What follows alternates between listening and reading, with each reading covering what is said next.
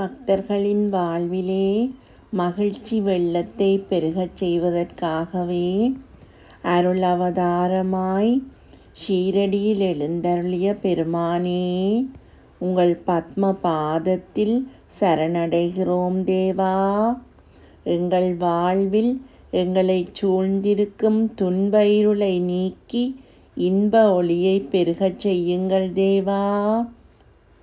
எங்கள் இல்லத்தில் எழுந்தருளி என்றுமே எங்களுக்கு துணையாக நீங்கள் இருக்க வேண்டும் பெருமானே. உங்கள் குழந்தைகளாகிய எங்கள் வேண்டுதலை ஏற்று அருள்மலை பொழியுங்கள் தேவா.